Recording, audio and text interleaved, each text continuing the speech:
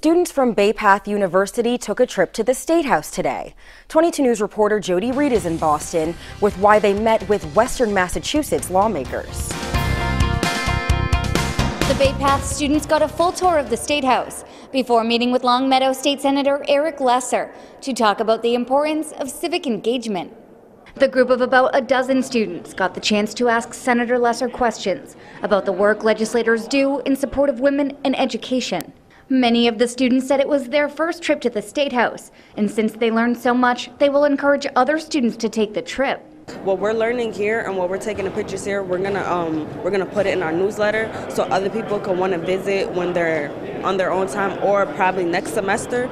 The group of students were issued a proclamation by Senator Lesser for the work they're doing to educate and inspire women to become more politically active.